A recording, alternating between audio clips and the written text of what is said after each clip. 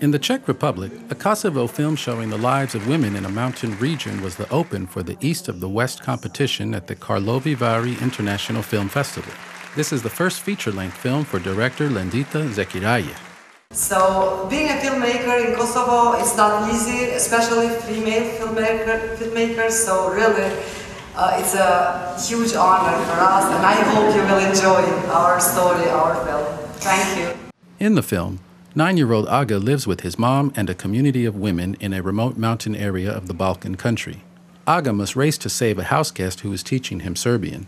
The film sees the character still struggling with the country's ethnic divides. He is living as the only male in a house full of women and he is missing his father. What I actually wanted to show is the real women's life on the big screen, which I think was still missing in cinema in Kosovo until today.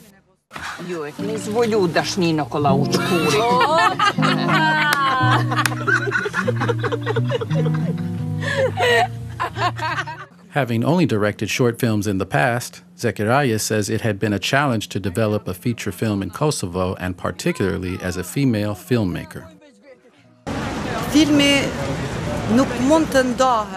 For me as a filmmaker and for the whole Kosovo film industry, it is a huge honor to be part of this prestigious festival in Karlovy Vary, especially as we were chosen to open the East of the West competition of the festival. Zeqiraj says she couldn't wait for the premiere to show the story of their country, and if not much changes, it would at least open debate.